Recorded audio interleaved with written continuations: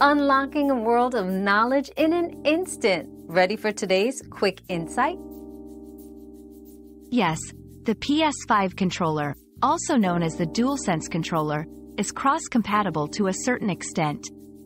It can be used with a PC and is supported on PS4 consoles for playing PS4 games.